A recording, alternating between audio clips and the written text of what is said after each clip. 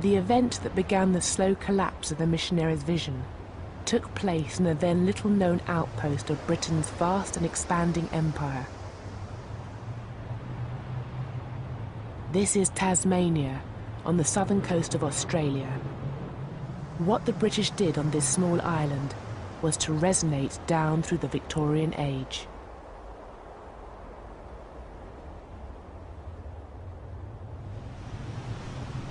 When the British started to settle in Tasmania in 1803, they encountered the ancient Aboriginal peoples of the island. Only 5,000 strong, they had lived in complete isolation for 10,000 years, on the very edge of the habitable world. The settlers saw these people through ideas brought with them from Europe. Quite early, you get expressions of disgust and shock about the way the Tasmanians lived.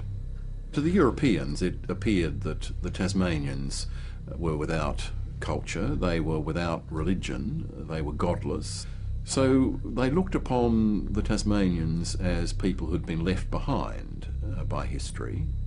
And they also related to a very popular idea of the late 18th century, that is the great chain of being, that the various races of humankind were arranged in hierarchical order, and that the Tasmanians were uniquely savage and primitive, and therefore can be treated almost as animals. The British set about building a new capital and settling the surrounding countryside, land that for millennia had been the prime hunting ground of the Aboriginals. Out in these fields and pastures, far from the control of the authorities, the settlers were free to displace and abuse the Aboriginals. From the 1820s, huge amount of Aboriginal land has been taken up and there is this enormous struggle between Aboriginal people and whites. Of course, it's very hard to document a lot of the settler violence because they know that it is against the law to kill Aboriginal people. They are being told that Aboriginal people are British subjects, but they certainly reveal in their diaries and journals the desire to kill Aboriginal people. What became known as the Black War was a hidden conflict. The landscape itself was the only witness. The British settlers killed any Aboriginals they encountered. Whole groups were massacred. Kidnapping and rape became commonplace. The Aboriginals regularly attacked the settlers as they fought desperately to defend their land. And as the death toll rose, fear fused with hatred. In such circumstances, it was very easy, um, on both sides, no doubt, to regard the other side as being totally subhuman.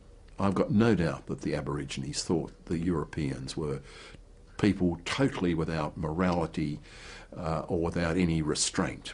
Equally, the, the Europeans uh, slipped very quickly into a view that these people were animals and savages. So that conflict in such a racially divided society so easily tips over into an extreme feeling of hatred. The death toll of the Black War had terrifying implications for the Tasmanian Aboriginals. The British, who arrived in ever-increasing numbers, could replace their dead. But the Aboriginals, only 5,000 strong before the war, could not. And by the end of the 1820s, they were at risk of being completely annihilated the only man who had any hope of halting the violence was the colonial governor, George Arthur. Now, the governor of Tasmania is an evangelical. He eh, knows Wilberforce, and he is aware that his future and his reputation depends on how he deals with this problem above all else. Now, he's already been warned in the late 1820s by the British government that the rapidly declining numbers suggests that these people might be exterminated. And were this to happen, it would be an indelible stain on the reputation of the British Empire, but by implication it would be disastrous for his career.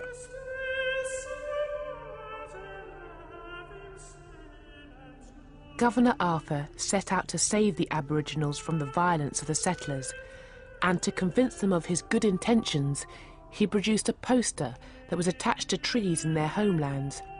It showed a fantasy of interracial unity. The poster spoke of British justice, promising equality before the law. The white killer of an Aboriginal would be hanged. If an Aboriginal killed a settler, he would be hanged. The poster also propagated the lie that the British wanted to integrate with the Aboriginals. It was both a fiction and a complete failure, because out in the bush, the killings on both sides continued. And in 1830, Governor Arthur embarked upon a new policy. He ordered the army to sweep across the area of European settlement in an attempt to capture the remaining Aboriginals. He offered a bounty for every Aboriginal taken alive, but the operation was a complete failure. Only two were captured, an old man and a young boy.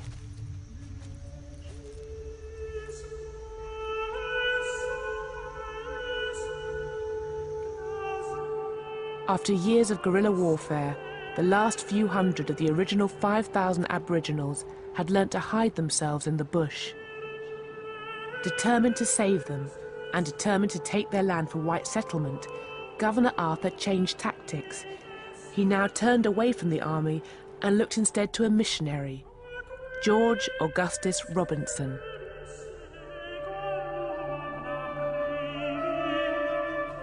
He was the leader of a band of Aboriginal converts and was now hired to go into the bush and bring in the remaining Aboriginals. Robinson took a message that the government wanted to come to some sort of an agreement, a negotiation, a peace treaty. And that is, I believe, undoubtedly the way the Aborigines saw it. They too saw this as a way to end a conflict which they had realised they could never win. They could never get rid of the Europeans.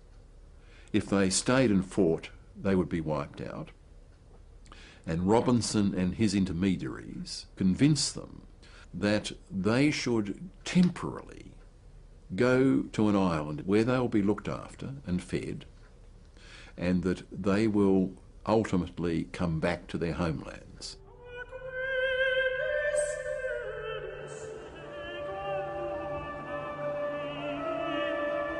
The island was called Flinders Island and 300 Tasmanian Aboriginals who had been collected by Robinson were transported here.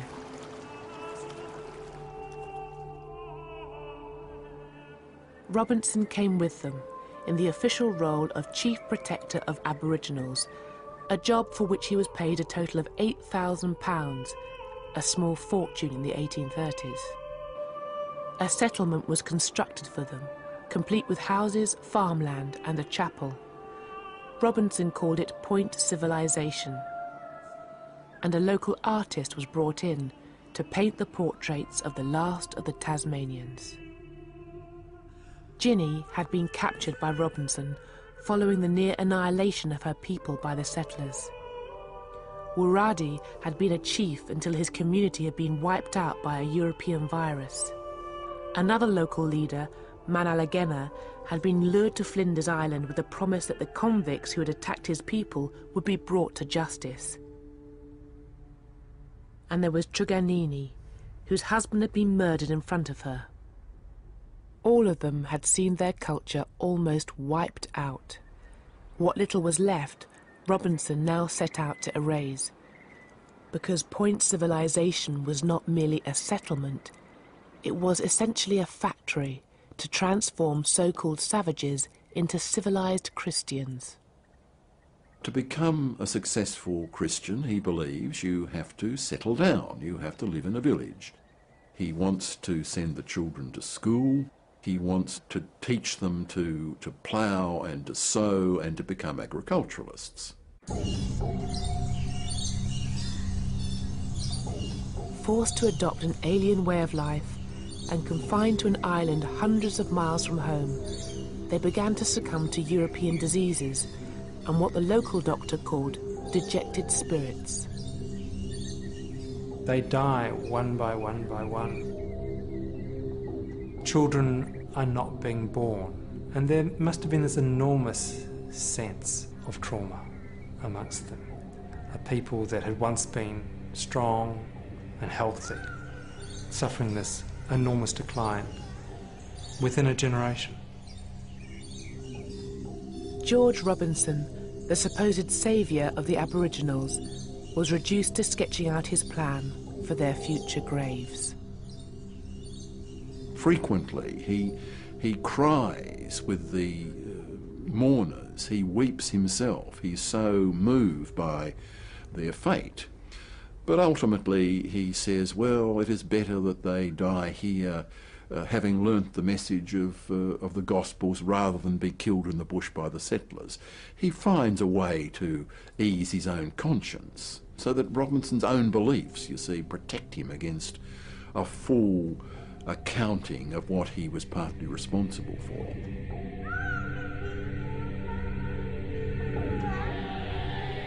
Of the 300 Aboriginals lured to Flinders Island by the mid 1840s, around 260 were dead.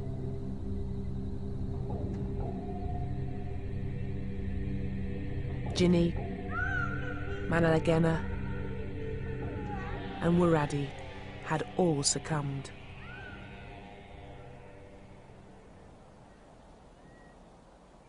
Truganini was one of the few survivors.